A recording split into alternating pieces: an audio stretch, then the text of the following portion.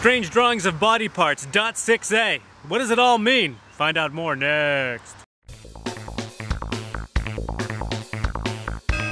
Capecast.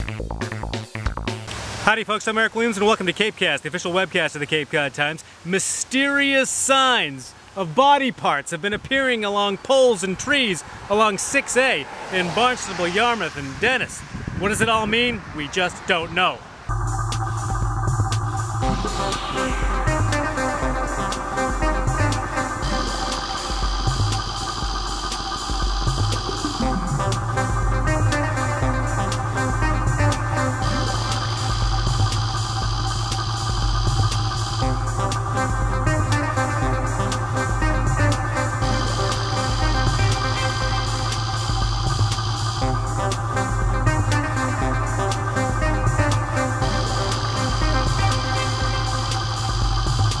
All right, we have some weird lips here at the corner of 6A and Bragg's Lane in Barnstable.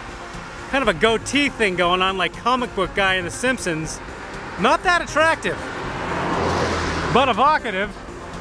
The one clue the name Allison Hewitt on a set of lips on a pole in Yarmouthport. Allison Hewitt, Allison Hewitt.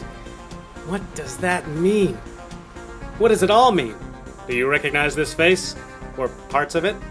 Do you know anything about this? Email us at capecast at capecodonline.com. We're trying to get to the bottom of it all.